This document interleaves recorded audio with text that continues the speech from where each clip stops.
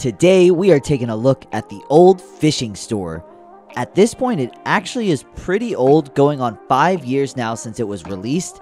And coming up, there's going to be a Lighthouse released in the Ideas series, so I think this is a perfect time to review this set. So let's get right into it.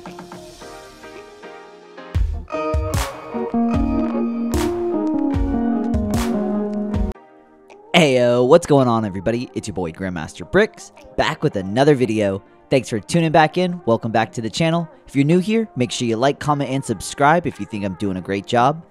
The way I'm going to do this review is I'm going to give you a little bit of the details and numbers, then I'm going to give you my opinions at the end of the video. So let's get right into it. Set number 21310, Old Fishing Store. It's rated for ages 12 and up, so I like to see that it's not an 18 and up set. Back in 2017, they really weren't doing 18 and up sets yet. This is a ideas set under the sub-theme Miscellaneous. It was released on September 1st, 2017, and then retired on December 31st, 2018. So it really did not have a very long shelf life, about a year and three months. The set came with 2,049 pieces and retailed for $150, which broke down to about 7 cents per piece, which is decent but now on the secondary market, you'll find this set sealed anywhere from about 350 to $400. The set came with four minifigures, all unique to the set. As well, it has a sticker sheet. The build had seven bags in total. The instruction booklet had 280 pages and it had 313 steps. Part usage wise, when it was first released in 2017, it had quite a few new pieces, some printed pieces, dual molded legs that are really expensive and exclusive to this set, as well as some introductions of some really cool animal figures like the seagull and the lobster. Now that we've given the set kind of the full rundown, now I'm going to give my opinions, the more review side of things, and boy, I really like this set. I actually got it used in the secondhand market. I took the time to sort it.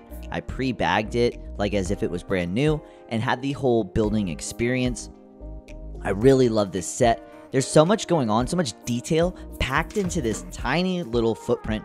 It is on a 32 by 32 base plate, but they didn't quite utilize all of the base plate area, so there could be maybe some area for play and just different scenes going on. So the footprint of the actual old fishing store is a lot smaller than an actual base plate. The whole color scheme going with the sand green is really, really cool. It's like, it's not as rare of a color nowadays, but in 2017, this was a really hype color to have in an entire building like this. Now we've gotten buildings like the Boutique Hotel and stuff like that. I can appreciate on sets when they have some printed elements and then some stickers, and that's exactly what you find in this set right here. Though it is a tight and compact build, it's cool that it is modular. It comes apart in a few different ways, when you're looking inside of the building itself, it's really dark, so it's hard to see, but if you're in adequate proper lighting, so much detail everywhere you look, they were able to just cram this in. Not a lot of room to kind of get your hands in there and play or opposability, but the fact that you know it's there, it sparks my imagination and my interest. It's one of the reasons why I wanted to pick up on this set. Knowing the fact that the idea set, the lighthouse is coming, the motorized lighthouse, this is going to go fantastic next to the old fishing store. I'm going to figure out a way to incorporate them both into each other. As I'm building my Lego village, I know I'm going to add some type of dock. I've seen on Rebrickable that there is a dock that you can basically an extra base plate you put next to this and it extends out the dock kind of like a fishing boat pier dock. So I'm thinking that's going to be happening as well.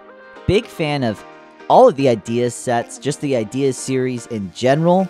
This is number 18 I think now we're pushing close to 40, so it's really cool to see how far they've come. And this is one of the earlier idea sets, so it's definitely an iconic set. In the aftermarket, it's gone just sky high.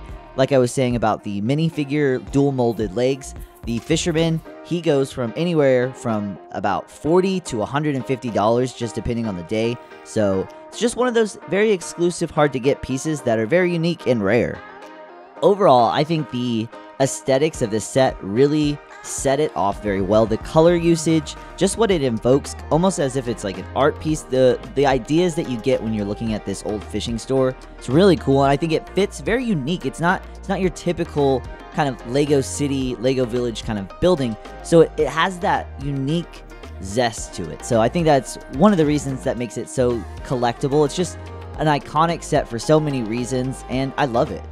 So many little accessories and details, so much to take in, soak in, so much you could do with this set as far as placing it in a village or in a city. I had a great time building it. The techniques with the tiling on the side with the snot pieces, once snot techniques became popular, this was one of those sets that just really utilized it and made it known that this is a fantastic technique. Everything from the box art to the building experience to the minifigures to the part usages and accessories. An amazing set. If you're looking to pick up this set for yourself, parting it out, wanting to acquire it. Hopefully, this video has helped you make some decisions, whether you're buying it for yourself or a friend. I aim to make these videos for collectors, MOC builders, and resellers alike. I enjoy LEGO and the LEGO community as a whole, and I just like to be a part of it, making these videos for you guys as well as for me for educational purposes and entertainment. Hopefully, this is hitting the mark for you guys. If you're enjoying my videos and you think I'm doing a great job, make sure you like, comment, and subscribe in life and in LEGO, remember, never stop building.